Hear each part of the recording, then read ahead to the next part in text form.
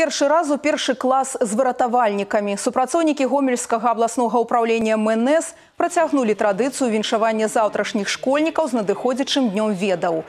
У рамках акцыі збяром партфель першакласніку выратавальнікі адправіліся ў шматдзетныя сем'і, каб уручыць партфелі са школьнымі прыладамі першаклашкам.